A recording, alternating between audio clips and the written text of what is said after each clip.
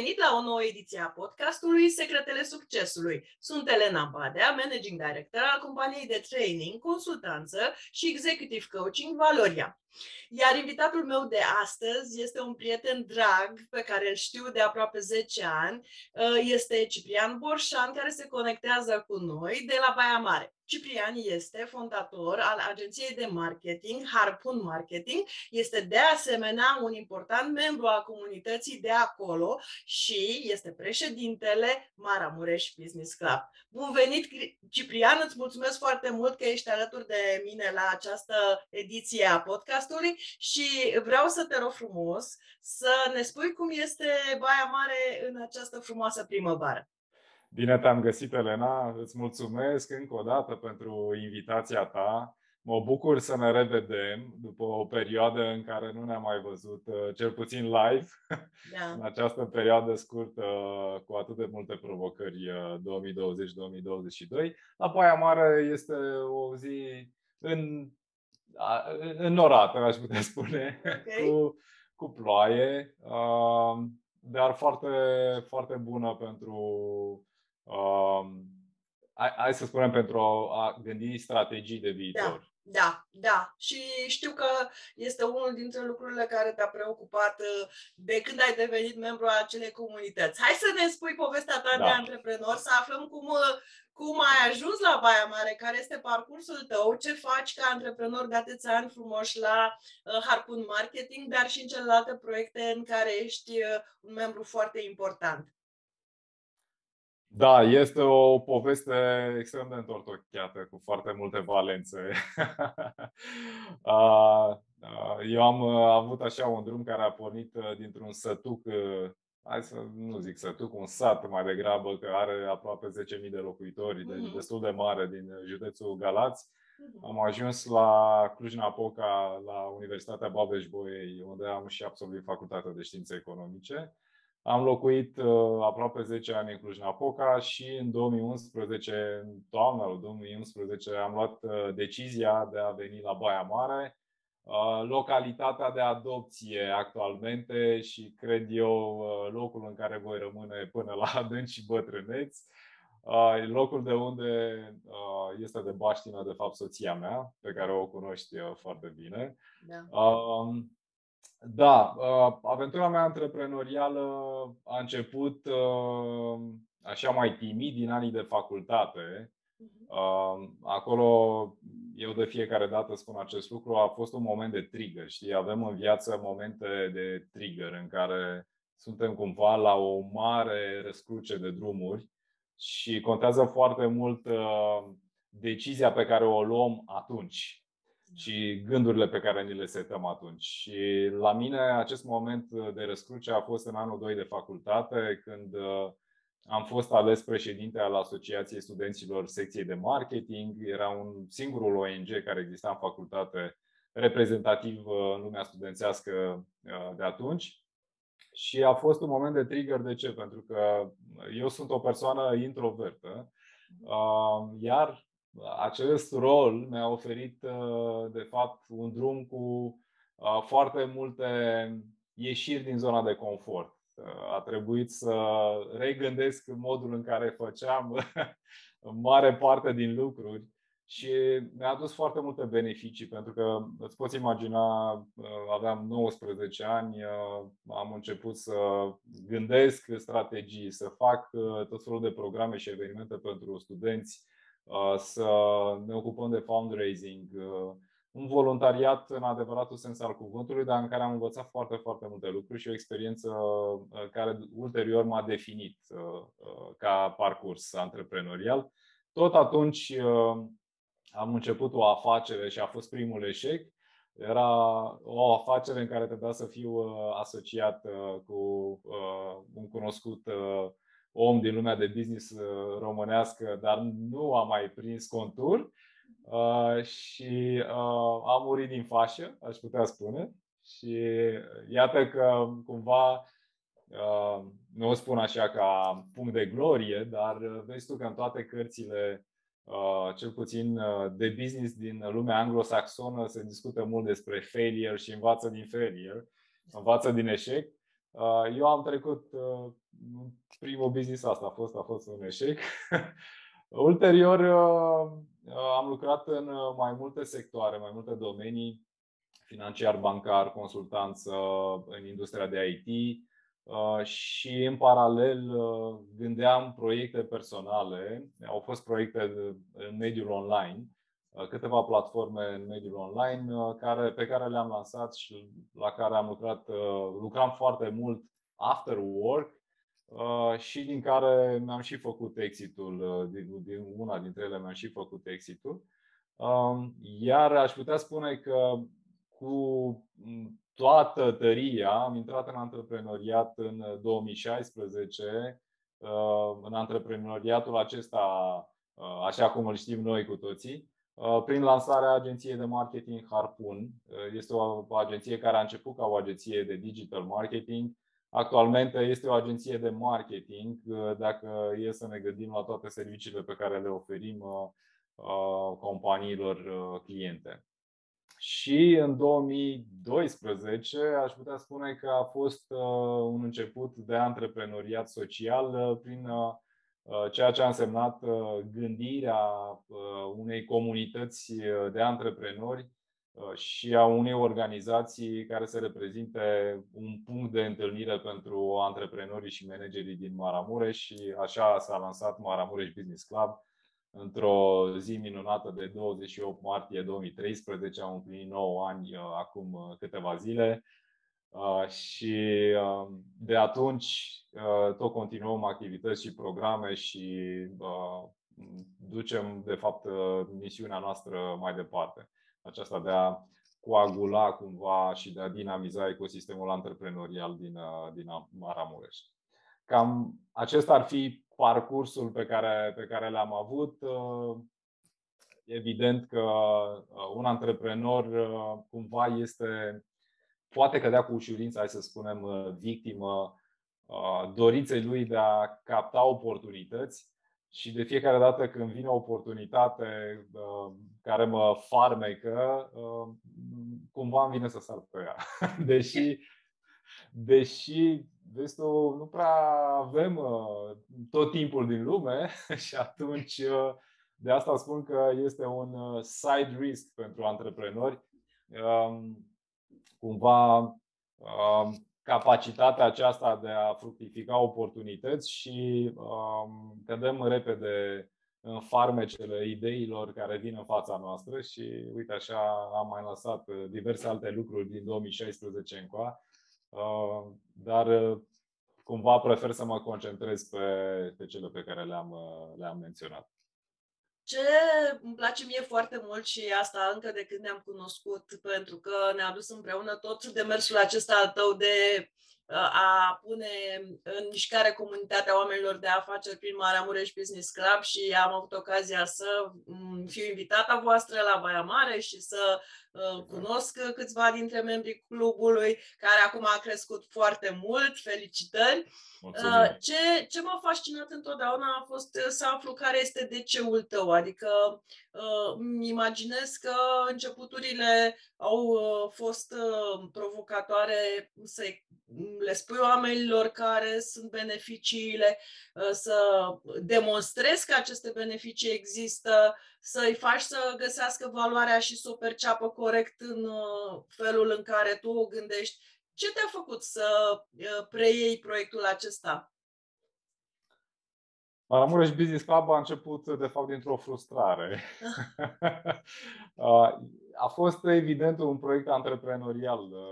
Exact cum lansezi un proiect antreprenorial nou, o afacere nouă, începutul este plin de provocări și, în general, ești un one-man show. Uh-huh. Încerci să faci de toate cât mai bine. Așa a început și Maramureș Business Club. Frustrare de ce? Pentru că Eram proaspăt uh, mutat în Baia Mare uh, după 10 ani petrecuți în Cluj, în care am dezvoltat o rețea consistentă de, de relații, aveam un network extrem de solid și a fost din punct de vedere social o lovitură pentru că eram din nou într-un început, un nou început, un oraș în care nu aveam conexiuni, nu aveam prieteni și Maramureș Business Club uh, a început tocmai din acest considerent. Uh, simțeam oarecum dinamica orașului mai mare de regiune uh, Cluj și atunci mi-am zis ok, trebuie să fac ceva să dinamizez puțin lucrurile aici în mediul antreprenorial local. Și de fapt așa a început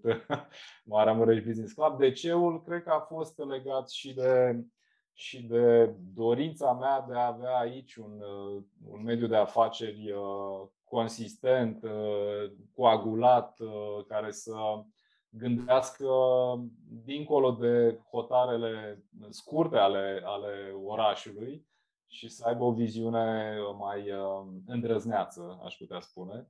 Și a fost un DC și personal, pentru că Maramureș Business Club a venit cu foarte mulți prieteni Mhm. cu contexte prin care te-am întâlnit și pe tine, cu oameni minunați, experți uh, fantastici uh, pe care i-am adus la Baia Mare și în felul acesta am devenit și cel mai important uh, organizator de evenimente de business și am făcut foarte multe lucruri. Dacă e să mă întorc în timp și să mă uit doar pe imagini, da. este absolut fascinant ce am reușit în acești 9 ani de zile.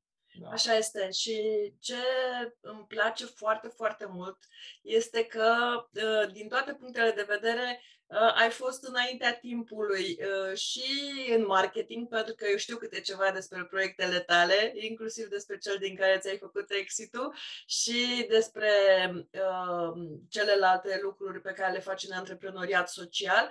Și vreau să spun că poți fi uh, sau poate fi tot ceea ce ai construit împreună cu comunitatea antreprenorilor din Baia Mare, din Baia Mare un case study. Un case study pentru că uh, alții se apucă acum de lucrul ăsta și îți spun că citeam uh, uh, 15 ani în urmă, o lucrare a unui uh, cercetător pe care uh, mi le recomandase conducerea de la corporația la care eram atunci, să îl parcurgem și asta spunea, comunitățile locale își vor găsi puterea proprie, vor înțelege că aportul lor este definitoriu pentru ceea ce se întâmplă cu orașul, cu oamenii, cu comunitatea lor. Și antreprenorii vor prelua acest rol și îl vor asuma și îl vor face parte din misiunea Uh, lor dincolo de business. Și tu ai făcut asta deja, iată, cu 9 ani de experiență în spate, iar uh, alții se apucă uh, în perioada asta și voi puteți să fiți un, un case study, un case study de așa da, cu toate lecțiile de așa nu din spate, că sunt și de astea, nu? corect, corect, corect. Da, mulțumesc, mulțumesc. Chiar aveam o discuție, un dialog acum câțiva ani cu jurnalista Andreea Roșca, o știți prea bine. Da da. Uh, una dintre cele mai frumoase cărți uh, care înglobează poveștile antreprenoriale de succes din România, cei care schimbă jocul. Uh, și ea spunea, Ciprian, mă uit la voi cu mare admirație și respect pentru ce ați reușit să faceți. Și știi, de multe ori nu îți dai seama. Da? Ești în, în, pur și simplu în drumul tău și nu înțelegi, de fapt, ce ai reușit să creezi în toți acești ani. Corect. Și da, mă bucur tare mult că am reușit să uh, creăm atâtea contexte de dezvoltare pentru antreprenori și manageri și să coagulăm o comunitate atât de frumoasă și să fim uh, recunoscuți la nivel național. Da. Uh, cum spuneai tu, mulți se uită spre Maramureș și când se uită spre Maramureș, din punct de vedere economic, se uită și la noi și știu aspectul acesta și Uh, partea bună la mine că, uite, vine și cu un aspect uh, din perspectiva brandului personal. Uh, sunt asociat cu Maramureșul tot mai mult prin prisma acestor proiecte și atunci mulți când se gândesc la Maramureș și au nevoie de o conexiune în mediul economic de aici, se gândesc, mulți se gândesc la mine și da. asta mă onorează. Eu mă întorc uh, și cu felicitările de rigoare pentru această parte a activității tale. Vreau să mă întorc acum la celălalt aspect, la uh, Harpoon Marketing. Este un business uh, care uh, teoretic uh, de încă de acum 10 ani trebuia să fie la mare cerere și cred că ai văzut și tu evoluția asta din ce în ce mai puternică a marketingului și a importanței marketingului și digital și, și a brandingului și a brandingului și așa mai departe. Ce, ce observi acum în perioada aceasta? Că de doi ani suntem uh, sub o ploaie de lovituri din punct de vedere a mediului uh, și politic, și economic, și social și așa mai departe. care este analiza ta din punct de vedere al felului în care îți percepi tu business-ul și oportunitățile și uh, amenințările? Da, vezi tu, Elena, știm prea bine cu toții că România, după 40 și câți, 7 de ani de da. comunism, da. încă noi suntem o economie destul de tânără. Suntem da. acum catalogată ca economie emergentă. Mhm. Asta înseamnă că în multe aspecte cumva suntem urmăritorii, followeri marilor economii ale lumii și aici vine cumva și contextul din ultimii doi ani în care cel puțin trendul acesta de digitalizare a afacerilor, de intrarea afacerilor care erau exclusiv în offline, în online și uh, uh, pentru noi a însemnat uh, un boom în 2020-2022 au fost foarte multe proiecte de, de digitalizare și proiecte de intrare în uh, online, multe proiecte de e-commerce. E-commerce-ul știm prea bine că în România este cumva sectorul care crește cu două cifre an de an și foarte, foarte frumos în ultimii 10 ani. Uh-huh. Uh, și avem, din fericire, tot mai mulți uh, care uh, și cumpără online. Uh, o creștere uh, destul de fulminantă a achizițiilor cu cardul bancar în România. Dacă această piață era uh, mult apanajul uh, uh, plăților ramburs. Iar oportunitățile pentru noi au reieșit clar din schimbarea aceasta de, de paradigmă, odată cu această pandemie care cumva a dat peste cap multe modele de business dar a și adus enorm de multe oportunități și cred că a provocat pe fiecare antreprenor să regândească strategia propriului business și pe foarte mulți a făcut să se mute în online și atunci au avut nevoie de o prezență uh, în digital extrem de bine punctată. Ce remarc și asta iarăși este oportunitatea pentru noi ca agenție de, de marketing, este că vedem uh, cel puțin în sectorul IMM-urilor, unde lucrurile erau destul de alambicate și haotice în ceea ce privește strategia de marketing, că încep, încep tot mai mulți antreprenori să, să gândească într-un mod mai solid uh, acțiunile de marketing și să vedem că sunt uh, planuri, că există bugete, că își înțeleg mai bine audiența și nu mai avem foarte multe întâlniri în care, în momentul în care ajungem la auditul de obiective, uh, ni se spune vrem să vindem cât mai mult și la toată lumea uh, și încep lucrurile să fie mult mai segmentate și mult mai clare și asta este o oportunitate pentru agențiile de marketing.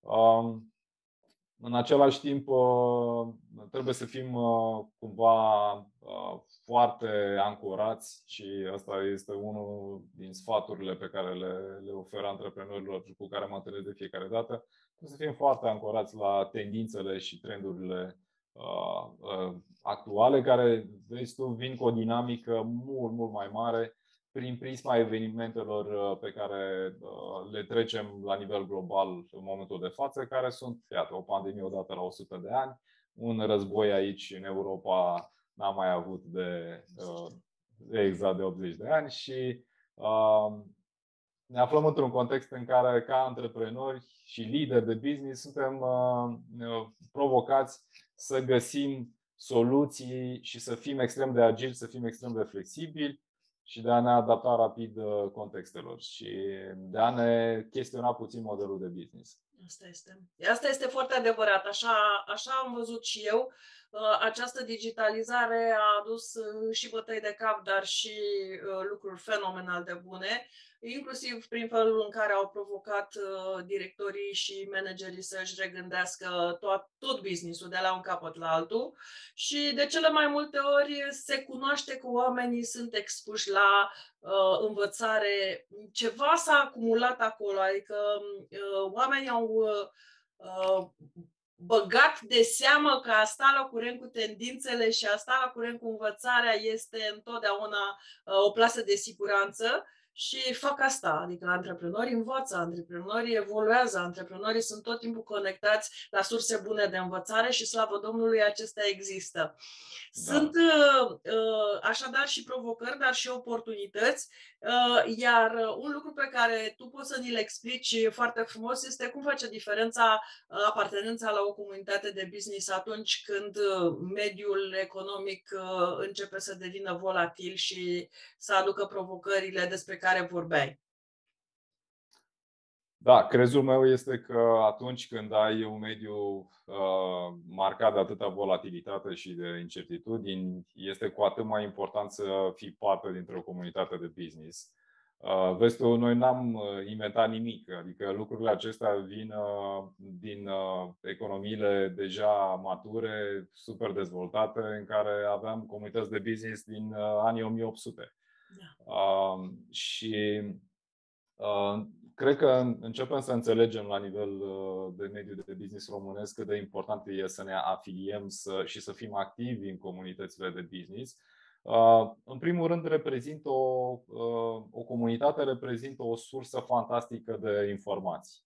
Pentru că fiecare membru are uh, gradul lui de know-how și uh, cumva contextele lui uh, în businessul pe care îl are, industrii diferite, afaceri diferite, diferite niveluri de dezvoltare ale afacerilor și atunci um, schimbul acesta informațional uh, te ajută foarte, foarte mult.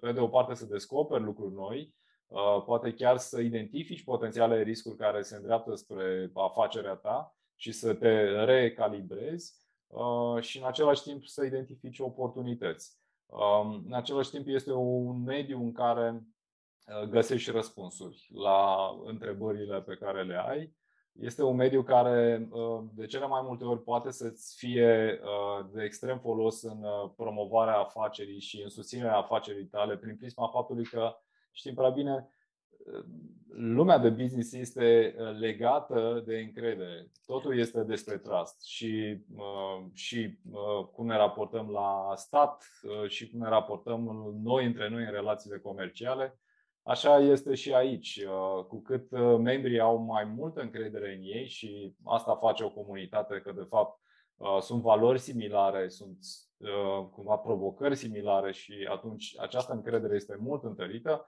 acești membri devin ambasadori reciproci pentru afacerile lor și devin ambasadori de brand.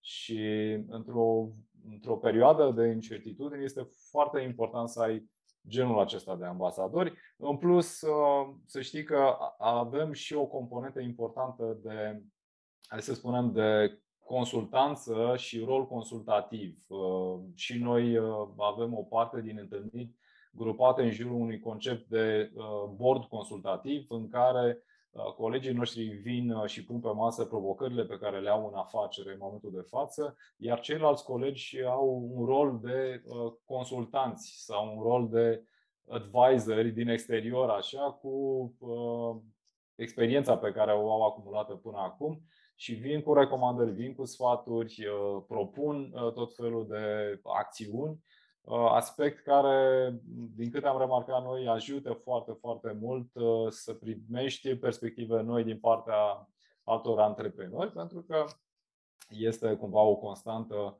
când uh, ești în afacerea ta, în cotidianul afacerii tale, se poate să-ți mai scape diverse aspecte importante cu un rol poate chiar de impact pentru afacerea ta. Da. E, e un uh, lucru pe care l-am văzut foarte rar. Trebuie să te, îți spun lucrul acesta. La București și în alte orașe există comunități uh, de business de tot felul, pe diverse modele, cum ai spus și tu. Uh, sunt lucruri pe care le putem lua și implementa ușor, replicând ceea ce există prin țări cu mai mare tradiție. Pe de altă parte, ce se întâmplă în comunitatea pe care tu ai construit-o în jurul principiilor din Maramureș Business Club, dar și din Rebele Maramureș, care tocmai s-a lansat. Felicitări! Și Mulțumim. sunt convinsă că sunt principiile pe care tu le ai în viața ta și în businessul tău în mare parte. Um, ce se întâmplă acolo este mult mai coeziv, este mult mai împreună, este mult mai strategic, este mult mai, uh, cum să spun eu, uh, împletit cu învățare și cu consultanță, cum deja ai punctat Și uh, asta lipsește în, uh, în alte zone în care am interacționat cu, cu mo- alte modele de comunitate de business.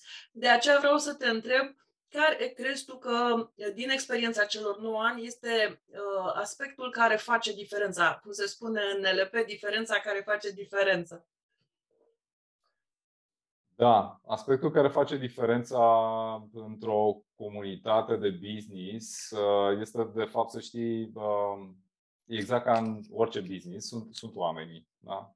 Uh, de fapt, dacă ai un lider sau oameni cu, să zicem, cu valori solide și cu o viziune coerentă, lucrurile se încheagă foarte, foarte bine ai nevoie de, exact ca într-un business, ai nevoie de disciplină, ai nevoie de viziune, ai nevoie de strategie, ai nevoie de valori solide.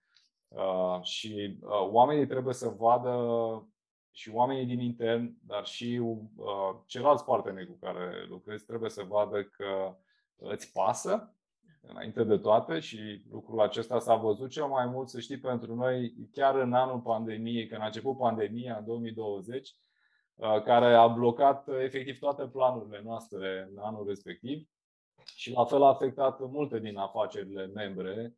Uh, au fost cumva puse în rolul de a regândi multe, multe aspecte și acolo s-a văzut, de fapt, pe de o parte, noi, comunitatea de business, ne-am implicat solid, am venit cu cumva cu un timp de răspuns uh, foarte rapid la ceea ce se întâmpla cu noi și cu afacerile noastre și am uh, creat tot felul de uh, evenimente, programe, am încercat să ne sprijinim reciproc afacerile. Veneam cu um, cumva cu partea asta de consultanță legislativă și apăreau tot felul de ordonanțe de guvern atunci și încercam să-i ținem la curent uh, cu tot ce însemna șomaj tehnic, uh, da, închid, da, da, da, închiderea afacerilor din Horeca și așa mai departe. Uh, și asta a contat. Și să știi că a contat foarte mult și pentru business-uri în sine și știm prea bine lucrul acesta.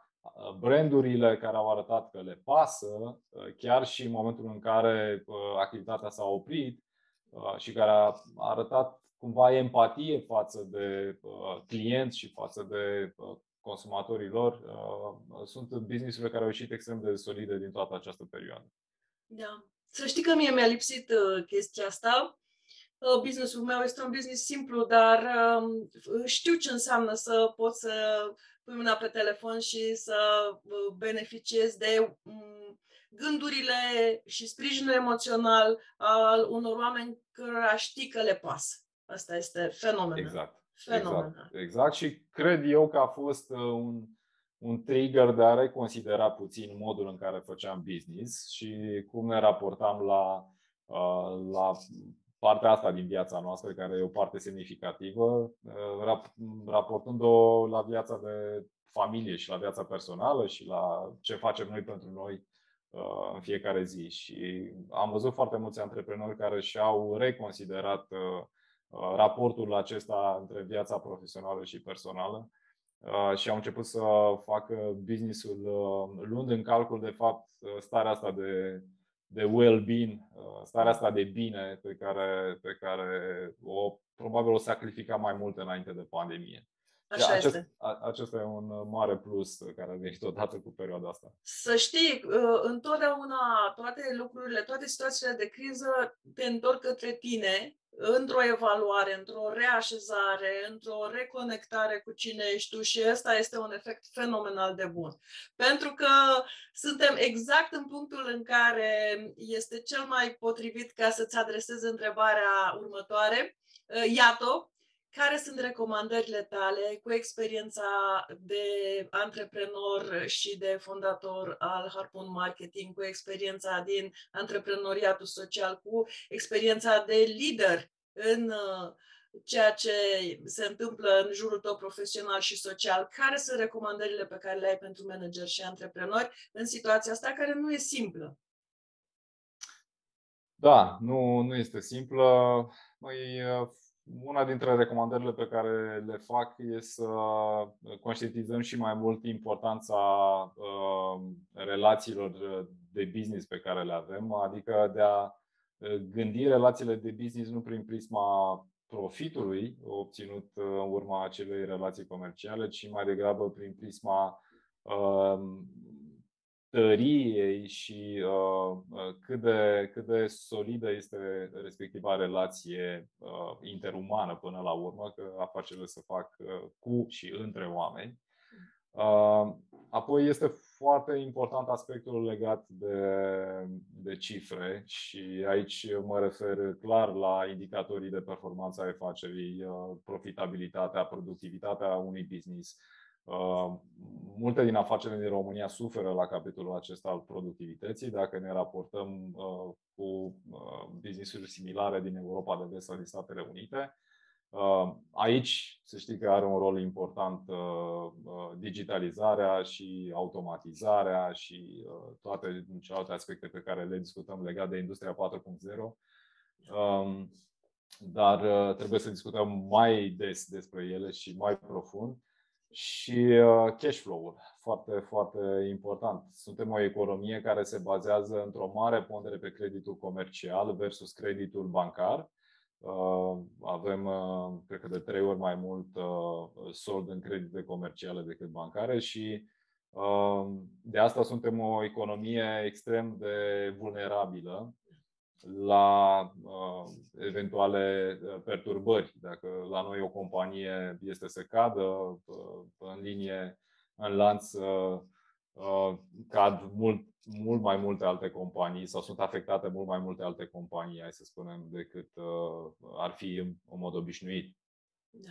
Uh, și uh, iarăși cred că este important să uh, reanalizăm modelul de business în, uh, în contextul acesta de, de incertitudine, să ne uităm uh, evident la tendințe, pentru că trecem printr-o perioadă marcată semnificativ de schimbări, uh, chiar dacă poate nu le, unii nu le vedem într-atât de mm, cumva clar în industria noastră, dar se schimbă foarte multe lucruri.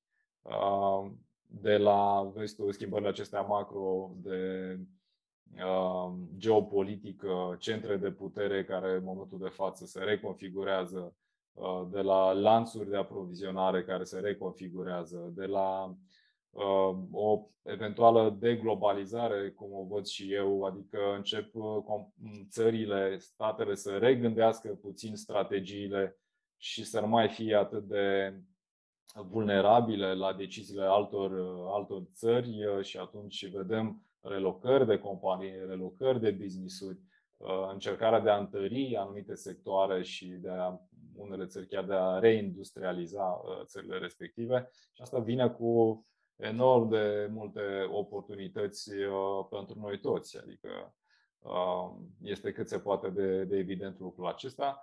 Și ce mai remarc eu și aș propune și aș recomanda antreprenorilor este să fie extrem de atenți la um, cumva la puterea brandului și la modul în care își construiesc uh, brandul uh, pentru companiile lor.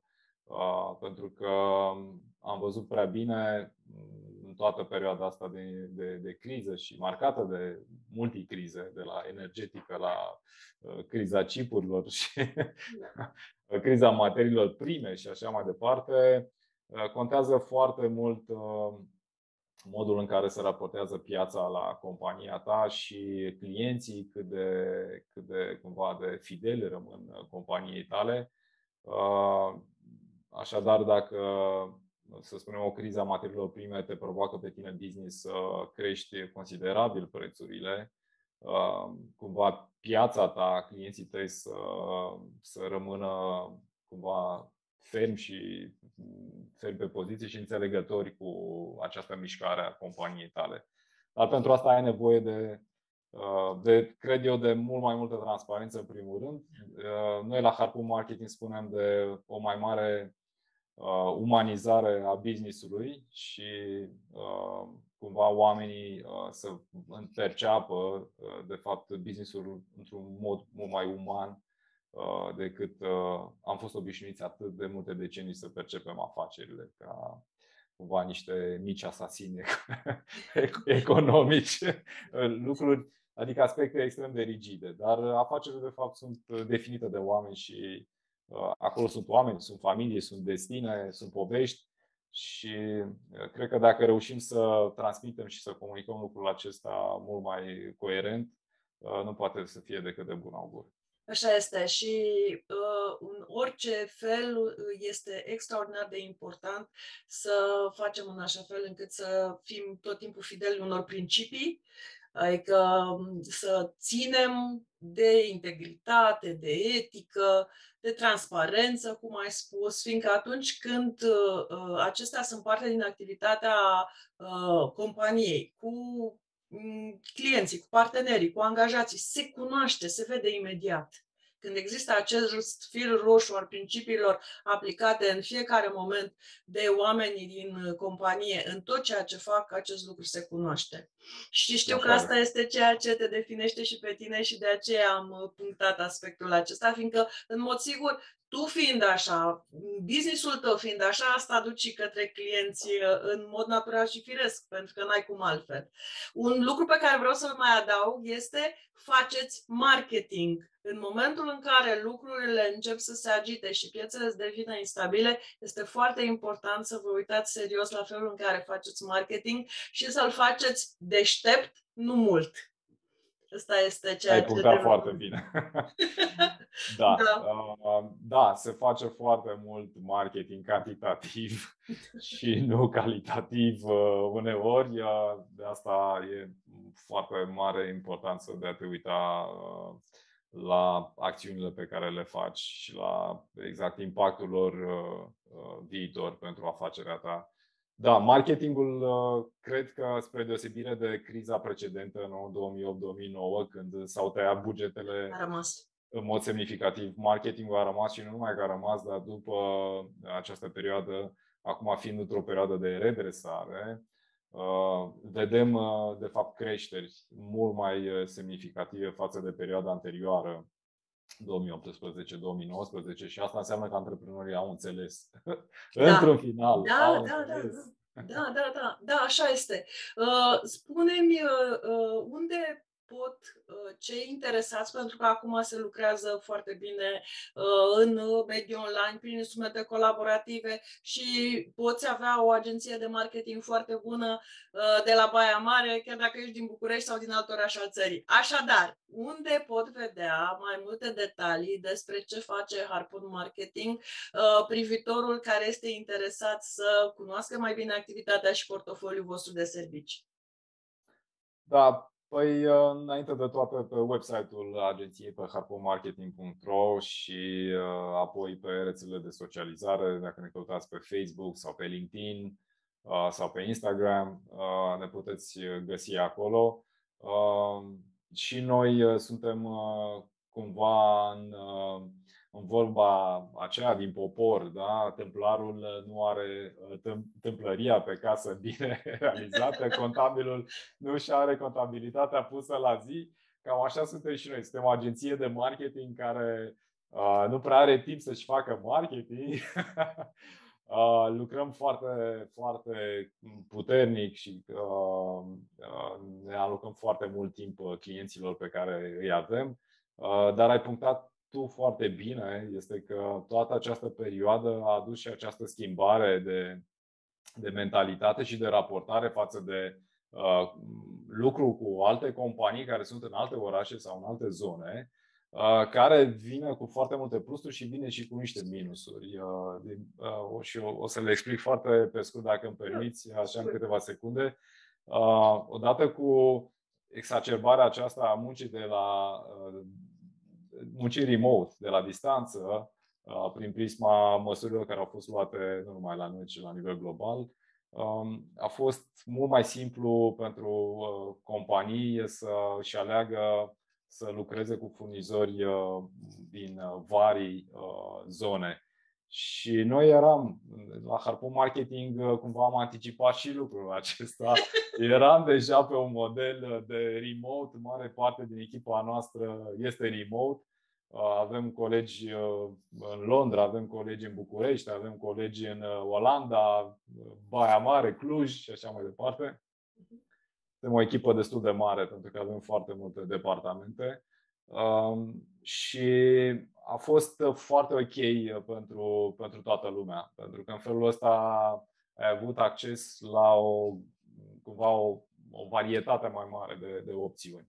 Uh, downside-ul, riscul major pe care l-am văzut uh, punctat în anumite industrii, uh, în special ce, cea de IT, este faptul că o mare corporație care își permite să plătească un programator cu 10.000 de dolari, poate să îți oferteze programatorul pe care îl ai în echipă și să-i dubleze salariul și acel programator să lucreze remote, de acasă, de oriunde, poate chiar și din satul bunicilor uh, pentru compania aceea care e lider global.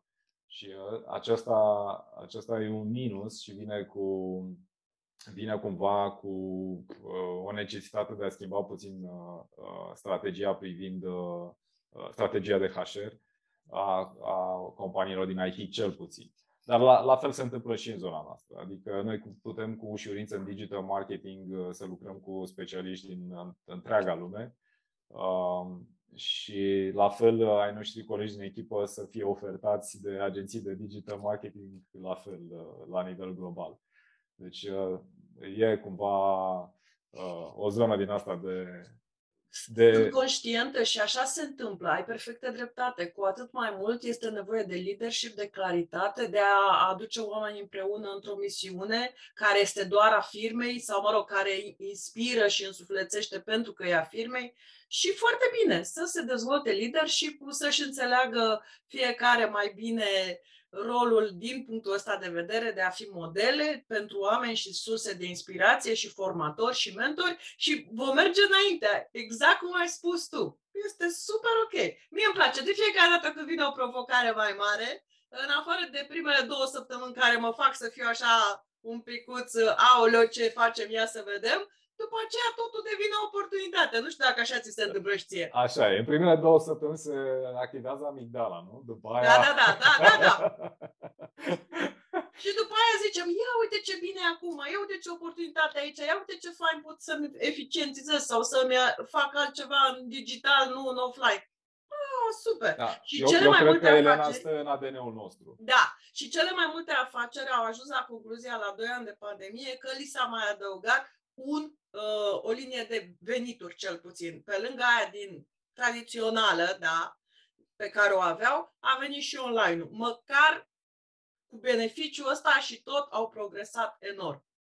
Așa este, așa este, așa este, confirm lucrul ăsta.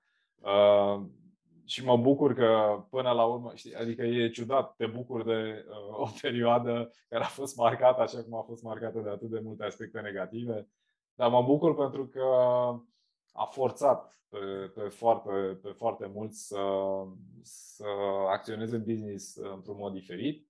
Uh, și eu, eu am o chestiune uh, când vine vorba de digitalizarea companiilor românești și pornesc de la uh, bază și ce mă refer la faptul că mai mult de 40% din companiile din România nu au un website Uh, și uh, îmi dau seama cât de mult mai avem de parcurs ca drum, dar sunt oportunități acolo.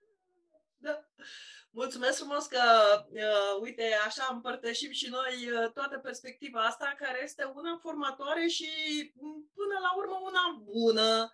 Uh, iar în momentul ăsta am nevoie să ne divulgi secretele tale și anume, din punctul tău de vedere, care consider că sunt una, două, trei secrete ale succesului în afaceri.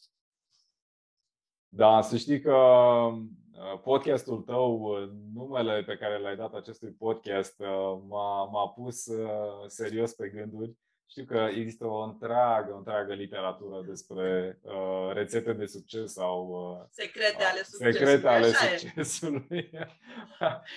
Eu mai degrabă consider că succesul este o chestiune personală, destul de intimă a fiecăruia dintre noi, pentru că succesul uh, nu este la fel pentru, pentru toți. Este diferit, uh, depinde foarte mult de lucrurile la care te raportezi și la așteptările și lucrurile pe care le aștepți în viața ta.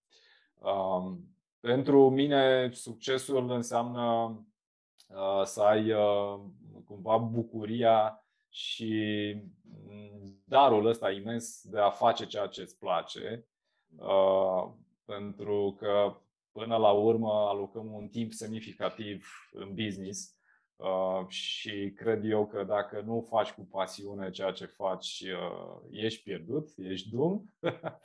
Um, apoi uh, este um, cumva partea asta firească a modului în care se desfășoară și se derulează afacerea ta, cu modul în care se dezvoltă afacerea ta Uh, și aici succesul vine clar din, uh, uh, și din evoluția afacerii tale, atâta timp cât reușești să pui afacerii tale, să o pui pe o cale de dezvoltare constantă și coerentă și solidă și sustenabilă și ceea ce generează afacerea ta pentru tine ca Uh, antreprenori și pentru, pentru familia ta și pentru cei dragi ție. Ăsta uh, iarăși un aspect care uh, până la urmă nu face decât să alimenteze capacitatea ta umană de a te bucura de aspect, anumite aspecte importante în viața ta. Și aici un business de succes ar trebui să-ți ofere cumva un timp mai de calitate și în timp antreprenorii ar trebui să câștige mai mult timp, uh, pentru că știm prea bine uh, provocările din stadiile incipiente ale afacerilor când uh, delegăm, cel puțin pe partea asta de delegare, delegăm atât de greu anumite aspecte importante din afacerea noastră și cred că este iarăși o definire clară a succesului să trăiești viața după valorile în care tu crezi și care te definezi pe tine. Uh, și când ești așa, când trăiești o astfel de viață, uh, se vede în jurul tău. Oamenii văd lucrul ăsta și se vede pe chipul tău. uh, de, asta, de asta îți spuneam că îmi par neschimbată. dar, dar tu știi că eu n-am muncit o clipă în viața mea, știi asta? Adică și tu la fel. Poate ai avut așa părerea că muncești, dar nu. Era da. totul făcut cu mult suflet și multă pasiune. Da, da. da. Cred, cred că până la urmă acestea definesc, iar eu cel puțin uh, îmi iau foarte multă energie um, și combustibilul, combustibilul meu reprezintă de fapt oamenii uh, care de care mă înconjur și care și care cresc și care evoluează în jurul tău uh, da. împre- și faceți un împreună fain acolo, iar românii nu prea știu de împreună ăsta, dar uite că e posibil. Trebuie să învățăm tot mai mult să fim împreună. Mm-hmm. Știm prea bine cum stăm la capitolul încredere în societatea românească. Mm-hmm. De asta avem de învățat uh, zi de zi și din acestea împreună pot ieși niște lucruri extraordinare. Uh, și business-uri mai puternice și uh, din cooperare uh, pot ieși uh, niște lucruri fabuloase. Uh, am văzut exemple elocvente de companii care s-au regrupat, ca să spunem așa, și au câștigat uh, clienți mai mari, au câștigat proiecte mai mari. Um, și lucrul ăsta e de fapt, uh, trebuie să fie de fapt pe agenda noastră a tuturor. Îți mulțumesc foarte mult, te apreciez extraordinar de mult pentru omul care ești, pentru modelul pe care îl oferi comunității de business din România și oamenilor care te cunosc. Sunt recunoscătoare pentru uh, tot ceea ce am uh, petrecut împreună, uh, te urmăresc cu drag și de-abia aștept să avem o nouă ocazie să povestim în a doua parte a anului, eventual spre final, ca să evaluăm cum a fost 2022 pentru pentru viața noastră. Da. Sper, sper să, să fie momentul acela și uh, să fim uh, sănătoși uh, și să ducem afacerile noastre uh, la următorul nivel.